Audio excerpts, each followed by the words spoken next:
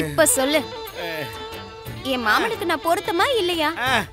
பீஸாவுக்கு tomato sauce மாதிரியே இருக்கிற. இப்ப தெரியுதா என் மார்க்கெட்டு? இந்த மார்க்கெட்ல இருக்க பாதி பேர் ஏன் பின்னாடி தான் சுத்துறாங்க. எல்லாம் என். மாமா ஏய் பாப்பா. ஏய் ஐயோ. ஏய் பாப்பா. ஏய். ஒரே குழப்பமா இருக்குதே. நான் பார்க்கும்போது விக்ரம் தானே நின்று பேசிகிட்டு இருந்தான் இவன் என்னடான்னா விக்ரமே இல்லை முருகன்னு சொல்கிறான் ஒன்றுமே புரியலையே. இவ போய் சொல்கிறாளா இல்லை நான் தான் அவன் மாமன் மக முருகனை பார்த்துட்டு விக்ரம்னு நினச்சிட்டேனா? ஒரே கண்புருசாக இருக்குதே. எதுக்கும் மேடத்துக்கு ஃபோன் பண்ணி விஷயத்த சொல்லிடுவோம்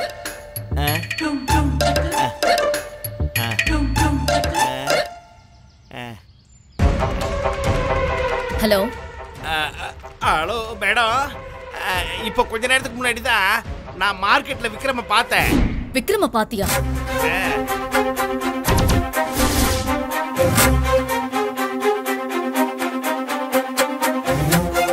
போய் அவனை புடிச்சு லாக் பண்ண வேண்டியதானே அது ஏன் கேக்குறீங்க மேடம்? அவனை பிடிக்கலான்னு நினைச்சு தான் பக்கத்துல போனேன். அதுக்குள்ள அவன் எஸ்கேப் ஆயிட்டான் மேடம். என்ன சொல்ற? நீ நிஜமாவே விக்ரம தான் பாத்தியா? இல்ல வேற யாராவது பார்த்துட்டு விக்ரமன்னு சொல்றியா?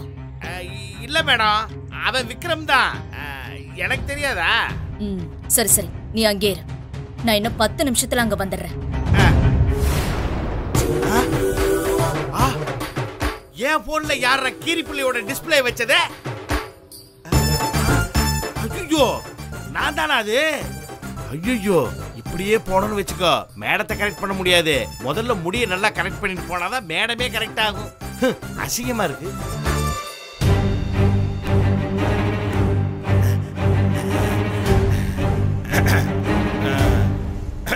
ஏய் விக்ரம்! நீ என் கண்ணுல இருந்து தப்பிக்கவே முடியாது. அம்மா வலி தாங்க முடியலையே. முப்பது ரூபாம்மா. முப்பது ரூபாவா? ஆமாம்மா. தக்காளி? பத்து ரூபாம்மா. சரி. ஒரு கிலோ போடு. ஆ எடுத்துங்கம்மா. கத்திரிக்காய் எவ்வளவு? கத்திரிக்காய். கிலோ இருபது ரூபாம்மா நல்லா இருக்கும் ஆ. எடுத்துக்கம்மா நான் நானே எடுத்துக்கிறேன்.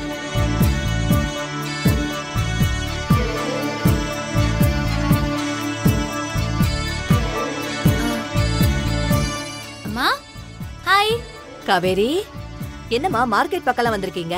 அம்மா வீட்ல போரிங்கா இருந்துச்சா? அதான் சும்மா சுத்தி பார்க்கலான்ட்டு இங்க வந்துட்டேன்.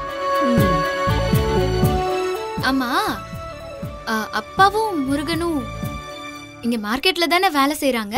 ம். அவங்க கிட்ட சொன்னா இந்த காய்கறி எல்லாம் வாங்கிட்டு வர மாட்டாங்களா? அட ஏமா அம்மா எப்பமா வந்தீங்க? ஹாய் இப்பதாண்டா வந்தேன். ஹாய் அம்மா. உங்க அம்மாக்கு இந்த ஹெல்ப்லாம் நீங்க பண்ண மாட்டீங்களா? இவனும் இவங்க அப்பாவும் ஒரு நாளாவது உருப்படியா காய்கறி வாங்கிட்டு வரதா இருந்தா அப்புறம் நான் ஏன் இங்க வர போறேன் இத பாருமா உருளைக்கிழங்கு அழுகி இருக்கான்னு பார்க்க மாட்டாங்க. கத்திரிக்கால பூச்சி இருக்கான்னு கூட பார்க்க மாட்டாங்க. தக்காளி அடிபட்டிருக்கான்னு கூட பாக்குறது கிடையாது. கண்ணுல பட்டதா அப்படியே கூடையில அள்ளி போட்டுட்டு வந்துருவாங்க. எதையும் பாக்குறது இல்ல. சும்மா இருடா. ஒரு நாளைக்கு வாங்குற காய்கறிய மறுநாளைக்கு வைக்கவே முடியாது. அப்படியே குப்பை தொட்டியில போட வேண்டியதுதான். அது எதுக்கு? அதான் நானே வந்துடுறேன். என்னங்க? அம்மா எவ்ளோ கஷ்டப்படுறாங்க. உங்களுக்கு காய்கறி கூட பார்த்து வாங்க தெரியாதா? ஏங்க நீங்க வேற. ஆக்சுவலா நான் இங்க பார்க்கும்போது காய்கறிலாம் நல்லா பளபளன்னு தாங்க இருக்குது. அது என்னமோ தெரியல என்ன மாயமோ தெரியல. இங்க இருந்து வீட்டுக்கு போகும்போது காய்கறிலாம் கொஞ்சம் டேமேஜ் ஆயிருது. இல்லம்மா? ஆ, என்ன பண்றது? வாட். டு நல்லா சமாளிக்கிறீங்கங்க. காய்கறி வாங்குறதெல்லாம் ஒரு கலை. தக்காளி இருக்குல்ல தக்காளி. அத அமுக்கி பார்த்து வாங்கணும். வெண்டைக்காய உடைச்சு பார்த்து வாங்கணும். முருங்கைக்காய முறுக்கி பார்த்து வாங்கணும். வெங்காயத்தை உரிச்சு பார்த்து வாங்கணும். உருளைக்கிழங்க நிறத்தை பார்த்து வாங்கணும்.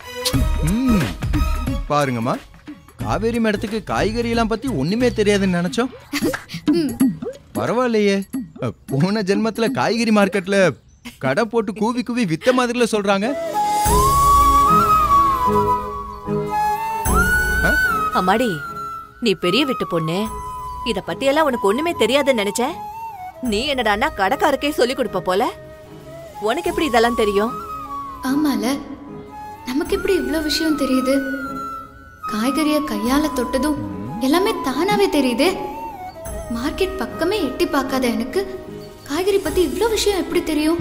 மேடத்துக்கு என்னாச்சு? ஒருவேளை நான் இதுக்கு முன்னாடி காய்கறி வித்திருப்பேனோ? இல்ல வீட்ல நல்லா சமைப்பேனா? இல்ல ஒருவேளை ஹோட்டல் எதுவும் நடத்திருப்பேனா? ஒண்ணுமே புரியலையே. காவேரி? ஆ, அம்மா. ஆ, ஆஹா. அம்மா இதுல என்னம்மா இருக்கு? பொண்ணுங்களுக்கு இதெல்லாம் ஜீன்லயே இருக்கும்மா. காய்கறி வாங்க மார்க்கெட்டுக்கு எல்லாம் போகணுங்கிற அவசியம் எதுவுமே இல்ல. எல்லாமே தானாவே வரும். மேடம் நீங்க பெரிய ஆளுதான். பாருங்கம்மா எல்லாத்துலயும் எக்ஸ்பர்ட்டா இருக்காங்கல்ல. அம்மா கேட்டிங்களா? அவரு வாயாலே சொல்லிட்டாரு நான் எக்ஸ்பர்ட்னு உங்களுக்கு தேவையான காய்கறிய நானே எடுத்து தரேன். சரிங்களா? சரிம்மா.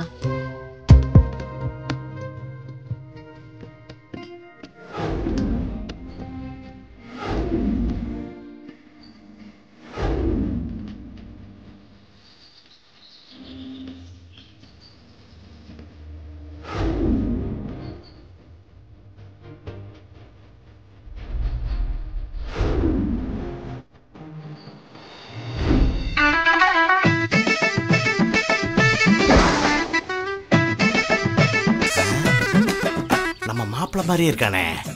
ஆ, பாத்துருவோம். மாப்பிள்ள யாரு? ஒரு நிமிஷம். என்ன வேணும்? டேய் இனிமே நான் உன்னை இந்த ஏரியாக்குள்ள பார்க்கவே கூடாது. அப்படியே நீ இந்த ஏரியாக்குள்ள வந்தாலும் சேவிங் பண்ணிட்டு தான் வரணும். புரியுதா? இந்தா டென்ஷன் பண்ணிக்கிட்டு. போட. சரியான லூசா இருப்பானோ? தாடி ஷேவ் பண்றதுக்கு ஐநூறுரூவா கொடுக்குறா.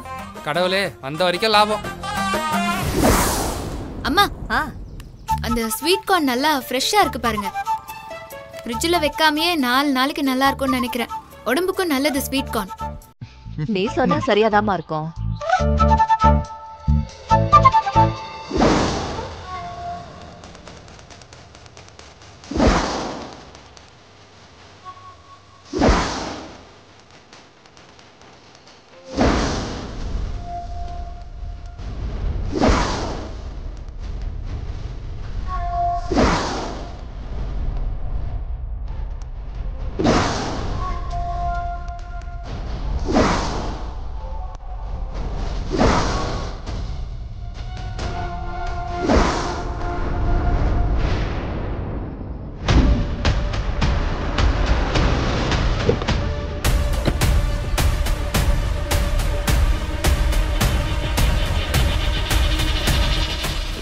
போனானே தெரியலையே. ச்சே இப்படி தப்பிக்க விட்டமே அவனை.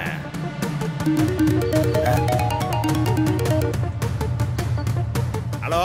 புலி நான் மார்க்கெட்டுக்கு வந்துட்டேன். நீ எங்க இருக்க? அது ஆ, இந்த விக்ரம பார்த்தல்ல. அந்த இடத்துல தான் நிக்கிறேன் மேடம் முட்டாள்? நீ விக்ரம பார்த்த இடம் எனக்கு எப்படி தெரியும்? ஏதா லேண்ட்மார்க் சொல்லு. அது லேண்ட்மார்க்கு எப்படி சொல்றது?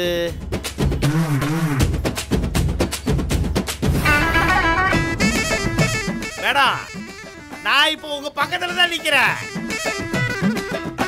இந்த பக்கம் பாருங்க. அட அந்த பக்கம் இல்லைங்க இந்த பக்கம் பாருங்க. அட ரைட்ல பாருங்க. பாருங்க.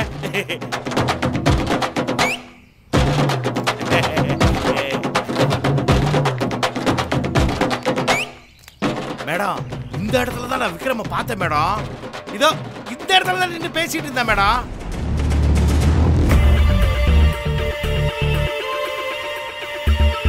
இந்த இடத்துல பார்த்துட்டு அவனை மிஸ் பண்ண. அவன் எந்த பக்கம் போயிருந்தாலும் அவன் போன திசையை கண்டுபிடிச்சிருக்கலாம்ல. மேடம் நான் அப்படியே நான் பாட்டுக்கு வந்துகிட்டே இருந்தேன் மேடம் பார்த்துட்டேன்.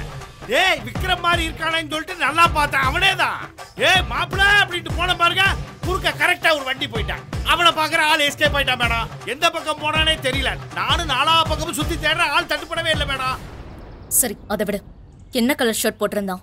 அது என்ன கலர்னா வந்து அது வந்து ஆரஞ்சு மஞ்சள் ரோஸ்ன்னு நினைக்கிறேன். இல்ல மேடம் ஏதோ ஒரு கலர் சட்டை. நான் பார்க்கும்போது ஒரு பொண்ணு கூட பேசிட்டு இருந்தேன் மேடம். பொண்ணு கூட பேசிக்கிட்டு இருந்தானா? ஆமா மேடம். அதுக்கப்புறம் நான் அந்த பொண்ணுகிட்ட கூட விசாரிச்சேன். அவன் யாரு என்ன ஏதுன்னு. அதுக்கு அந்த பொண்ணு சொல்லுச்சு நீங்க சொல்ற மாதிரி விக்ரம்னா ஒண்ணும் கிடையாது. இவன் என் மாமா மக முருக அப்படின்னு கன்ஃபியூஸ் பண்ணிட்டா என்னைய. கன்ஃபியூஸ் பண்ணிட்டாளா? புலி என்ன டென்ஷன் பண்ணாத. நீ பார்த்தது விக்ரமா? இல்ல அந்த பொண்ணோட மாமா மகன் முருகனா? இல்ல மேடம். அது எனக்கு விக்ரம் மாதிரி தான் தெரிஞ்சது மேடம். மறுபடியும் நீ டவுட்டோட தான் சொல்ற புலி. கிளியரா ஸ்ட்ராங்கா சொல்லு. நீ பார்த்தது விக்ரம் தானே? ஆமா மேடம். நான் பார்த்தது விக்ரம் தான் மேடம். என்னோட ரெண்டு கண்ணாலே பார்த்தேன். அந்த பொண்ணுகிட்ட பேசிட்டு இருந்தேன் மேடம். சரி விடு. நீ பார்த்தது விக்ரமா இல்ல முருகனான்னு நானே இன்னும் கொஞ்ச நேரத்துல கண்டுபிடிக்கிறேன். அந்த முருகன் இப்ப எங்க இருக்கான்னு தெரிஞ்சா நம்ம டவுட் கிளியர் ஆயிடும். அந்த பொண்ணு யாரு? அவ பேர் என்ன. அவளை பத்தின டீடைல்ஸ கலெக்ட் பண்ணியா? அச்சோ அவளை பத்தி நான் எதுவுமே கேட்கலையே ச்சே இந்த ஐடியா எனக்கு அப்ப தோணாம போச்சே மேடம். டேய் முட்டாள்? கையில கிடைச்ச எல்லாத்தையும் மிஸ் பண்ணிட்டு நிக்கிறீங்க? அவளை எப்படி நான் கண்டுபிடிக்கிறது சாரி மேடம். திடீர்னு அவனை பார்த்த அந்த பரபரப்புல அந்த பொண்ணை பத்தி விசாரிக்கிறதுக்கு நான் மறந்துட்டேன் மேடம். என்ன பண்றதுன்னு தெரியாம தான் உங்களுக்கு போன் பண்ணிட்டேன். புலி அவ இந்த மார்க்கெட்டுக்கு ரெகுலரா வரவலா தான் இருப்பா. கடைக்காரங்க கிட்ட விசாரிச்சு பார்த்தா தெரிஞ்சிரும். அவ எப்படி இருப்பா? பார்க்கறதுக்கு என்னமோ ரொம்ப சூப்பரா தான் இருந்தா மேடம். முட்டாள். அவ எப்படி இருப்பான்னு கேட்டா சூப்பரா இருக்கான்னு சொல்ற? உன்னை வச்சுக்கிட்டு எதுவுமே பண்ண முடியாது. ஐயோ இல்ல மேடம் ஒரு எமோஷனல்ல அப்படி சொல்லிட்டேன். நான் மிஸ் பண்ணதை நானே கண்டுபிடிக்கிறேன். மேடம் நீங்க ஒண்ணும் கவலைப்படாதீங்க. நான் இங்கேயே விசாரிச்சு அந்த பொண்ணோட ஃபுல் டீடைல்ஸோட வரேன். ஆ,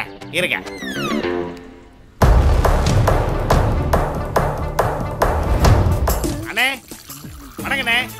என்ன ஒன்றும் இல்லை. கொஞ்ச நேரத்துக்கு முன்னாடி நான் இங்கே ஒரு பொண்ணு கூட பேசிட்டு இருந்தேன்ல. அந்த பொண்ணு யாரு? என்ன அவ பேரு? அவ எந்த ஊரு? அதை பத்தி உங்களுக்கு ஏதாவது தெரியுமா? என்னது? ஒரு பொண்ணுகிட்ட பேசிட்டு இருந்தியா? நான் பார்த்த வரைக்கும் ரொம்ப நேரமா அந்த பொம்பளை கிட்ட தான் கடலை போட்டுட்டு இருந்தேன். இப்போ என்கிட்ட வந்து இன்னொரு பொண்ணை பத்தி கேக்குறியா?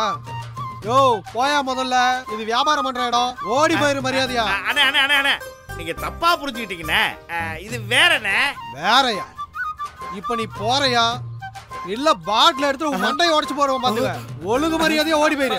என்ன குலகாரன் ஆகிறத மேடம் என்ன சொன்னாரு?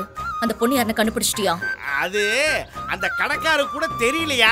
அதை கொஞ்சம் மரியாதையா சொல்லி என்னை அனுப்பிச்சு விட்டாரு. நீங்க ஒன்றும் கவலைப்படாதீங்க. நான் எப்படியாவது அந்த பொண்ணோட ஃபுல் டீடைல்ஸையும் உங்களுக்கு கலெக்ட் பண்ணி தர்றேன். அவளை கண்டுபிடிக்கிறது முக்கியம் இல்ல. அவனை கண்டுபிடிக்கணும். அவன் இந்த மார்க்கெட்டை விட்டு எங்கேயும் போயிருக்க மாட்டான். மார்க்கெட்டை ஒரு சுத்து சுத்தி வந்தா அவனை கண்டுபிடிச்சிடலாம். நான் நந்தினி கிட்ட பதினஞ்சு நாள் டைம் கேட்டிருக்கேன். அவ்வளவு நாள்லாம் தேவைப்படாது. இன்னைக்கே வேலை முடிஞ்சிடும் என்னது? இன்னைக்கே வேலை முடிஞ்சிருமா? எப்படி மேடம்? இப்படிதான்.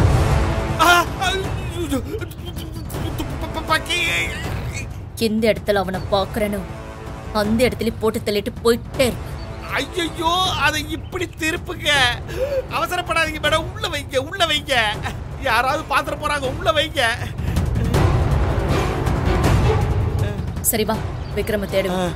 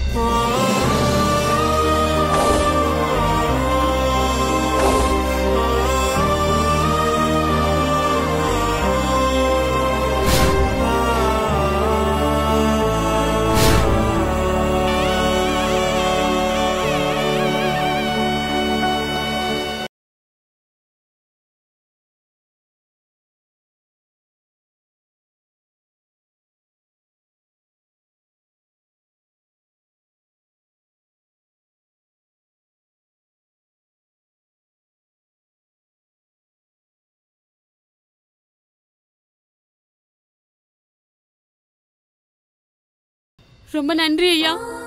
நீங்க மட்டும் இல்லைன்னா என் பையனுக்கு என்ன ஆயிருக்குமோ? நான் கும்பிடுற கடவுள் தான் உங்களை அனுப்பி வச்சு என் பையனை காப்பாத்திருக்கான். ரொம்ப ரொம்ப நன்றிங்க ஐயா. குழந்தைய கொஞ்சம் பத்திரமா பாத்துக்கோங்க சரிங்க ஐயா? ரொம்ப ரொம்ப நன்றிங்க ஐயா. சரி. இந்தாங்க சேஃபா விளையாடணும். சரியா? சரிங்க அங்கிள் போலாம்.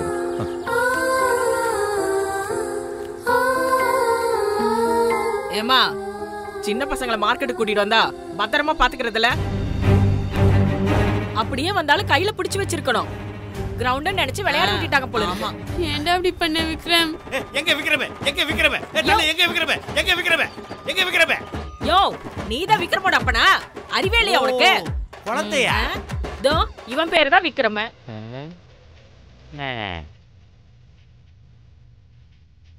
என்ன சார் உங்க பேரு? விக்ரம். உனக்கு வைக்கிறதுக்கு வேற பேரே கிடைக்கலையா விக்ரம் ஆமா விக்ரம் ஆமா இங்க விக்ரம் அப்படின்னு கத்துனது யாரு நான் தான் நீங்க.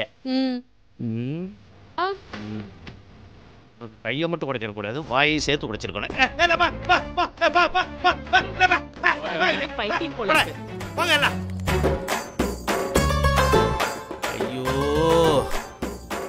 கடிகாரத்தை முள்ளு சுத்துற மாதிரி இந்த மார்க்கெட்டையே பத்து பதினஞ்சு தடவை சுத்தி சுத்தி வந்துட்டேன்?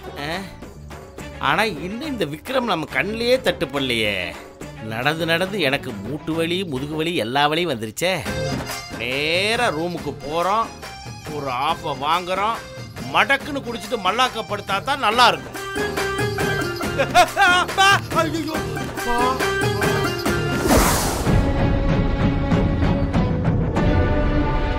மகா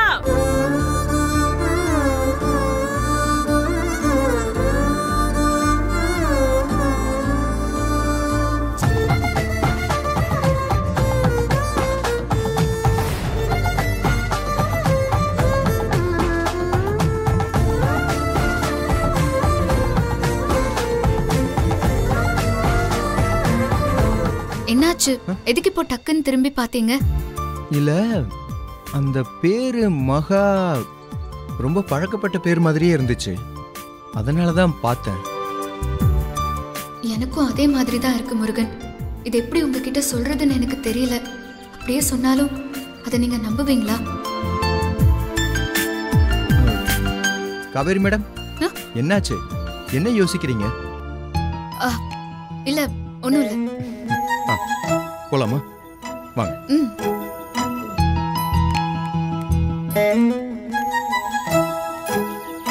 நீங்க ரெண்டு பேரும் எங்க போயிட்டீங்க? ஆளை காணோன்னு தேடிட்டு இருக்க ஒன்றும் இல்லைம்மா. ஒரு சின்ன பையன் பள்ளத்துல விழுற மாதிரி போனான்.